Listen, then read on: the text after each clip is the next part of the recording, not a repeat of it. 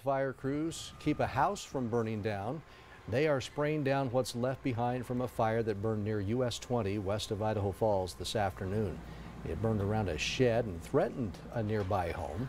However, a quick response from Idaho Falls Fire limited the damage to the wood fence.